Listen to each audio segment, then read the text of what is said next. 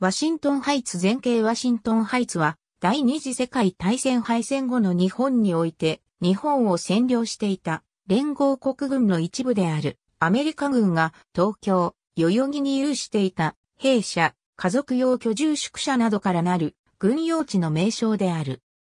1946年に建設され、1964年に日本国に返還されて取り壊されるまで存在した。同地は現在、代々木公園、国立代々木競技場、国立オリンピック記念青少年総合センター、NHK 放送センターなどとなっている。ワシントンハイツの住宅地1947年、連合国軍占領下の日本において作られたアメリカ空軍及びその家族のための団地である。東京、代々木の92.4万平米に及ぶ敷地には、弊社のほか、中流軍人とその家族が暮らすための827戸の住宅、さらに学校、教会、劇場、商店、商工クラブなどが設けられていた。アメリカ軍による東京大空襲などによって廃墟と化していた東京都心にあって、近代的なアメリカの街を実現したワシントンハイツであったが、周囲は塀で囲われ、日本人の立ち入りは禁じられていた。ここに居住していたのは中流アメリカ軍のうち、主に中位の軍人とその家族であったという。この地は、敗戦前まで大日本帝国陸軍の連兵場であり、代々木の原と呼ばれていた。これが敗戦後の1945年12月に日本占領軍である連合国軍に接収され、米軍住宅とされたものである。ワシントンハイツの建設は、占領アメリカ軍の要求によって日本政府の責任と負担に基づいて行われた。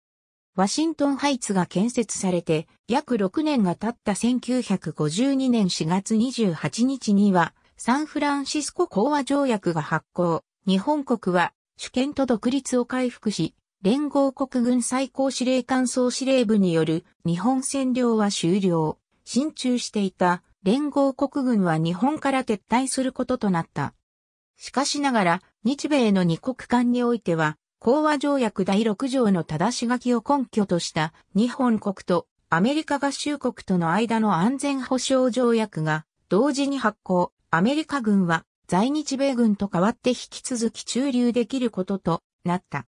これに対して直後の5月1日には大学生らを中心とする日本人による反米デモが起こり、ヤンキー、ゴーホームの掛け声のもと、東京都心ではアメリカ車が焼き討ちに遭うなどした。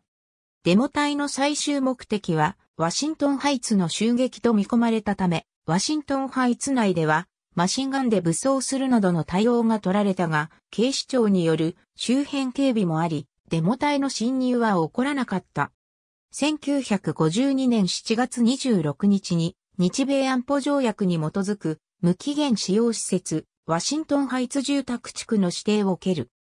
さらに1960年6月には、日本国とアメリカ合衆国との間の相互協力及び安全保障条約が発行、在日米軍の駐留は向上化され、この間を通して、ワシントンハイツは日米地位協定により、違い封建的存在、アメリカ軍用地、住宅地として東京都心に存在し続けた。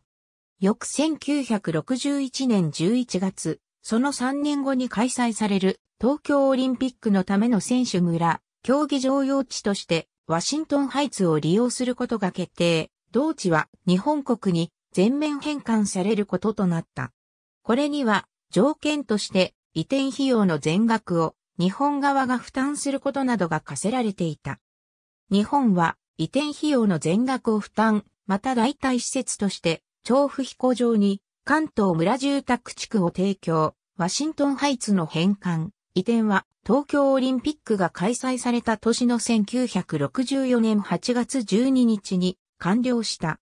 宇田川町に残る陸軍用地境界表現在の代々木公園一帯には江戸時代大名や旗本らの下屋敷などが点在していた。明治維新後、これらは民有地となり、一面の茶畑、桑畑となっていた。陸軍省はこの地の買収を進め、1909年7月、陸軍連兵場と英字監獄が設置された。この陸軍商用地の範囲は、現在の代々木公園よりも広く、南側は、現在の渋谷区神南にある NHK 放送センターから、同宇田川町の渋谷区役所、渋谷公会堂周辺一帯までに及んでいた。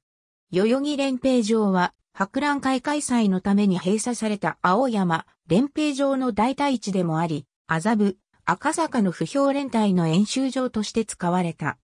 この地では1910年12月19日、陸軍大尉、徳川義徳が日本で初めての飛行機飛行に成功している。また、陸軍刑務所は、連兵場の南端である、現在の渋谷区役所付近に置かれていたが、1936年11月には、同年2月に起こった2.26事件の死亡者15名の死刑がここで執行された。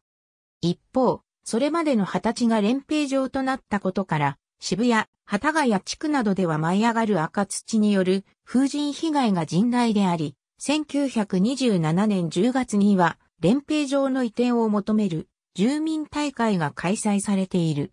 連兵場は演習のない時には一般に開放され、草野球やタコ揚げなども行われていたという。連兵場はひどかったな。あそこは馬糞がゴロゴロしているんだ。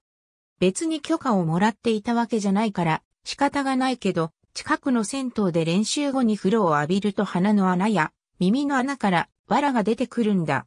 陸軍が来て演習が始まると、あっち行ってやれって言われたり、うるさい憲兵がいたり。こっちも勝手に使っていたんだから、文句は言えなかったけどね。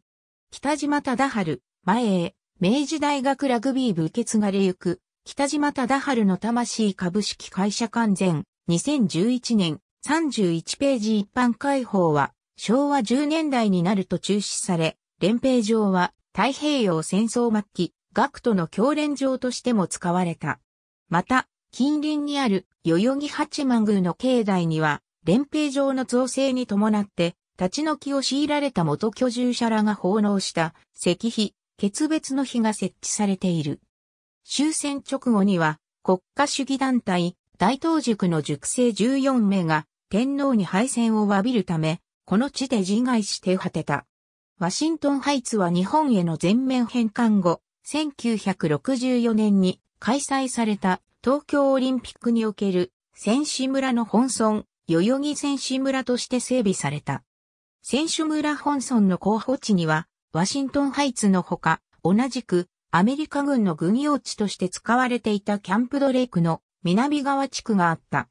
日本との返還交渉の中でアメリカが提示してきた諸条件はワシントンハイツについては全面返還を認めるが移転費用については日本が全面的に負担するキャンプドレークについては全面返還には応じられないがオリンピック開催期間中の一時使用は認める。しかし大会の終了後は即刻アメリカに引き渡すというものであった。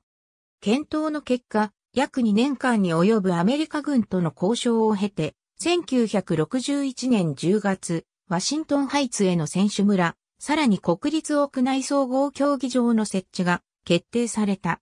代々木選手村は、東京オリンピックが始まる前月の1964年9月15日に開村、大会期間を経て、同年11月5日に閉村となった。ワシントンハイツは日本に返還されると、1964年の東京オリンピック開催に合わせて、選手村と国立代々木競技場、さらに国際放送センターとして、後の NHK 放送センターが建設された。選手村のうち、新たに建設された4階建ての集合住宅棟は、東京オリンピック終了後に、国立オリンピック記念青少年総合センターとなった。また、旧ワシントンハイツの戸建て住宅も選手村として改修、活用され、東京オリンピック終了後に代々木公園として整備された後にも一個だけが保存されている。この建物は同公園の原宿駅寄りにあり、旧ワシントンハイツにおける最も小型の住戸で、住居番号257号、または258号であるという。この建物は東京オリンピックの開催期間中、オランダ選手の宿舎として使用されていた。ワシントンハイツは基本的には日本人の立ち入りが禁じられていたが、比較的出入りが自由で、米兵も子供には優しく、中に入れて遊んだりすることもあったほか、近所に住む日本人の少年たちが草野球を楽しむ場所としても利用された。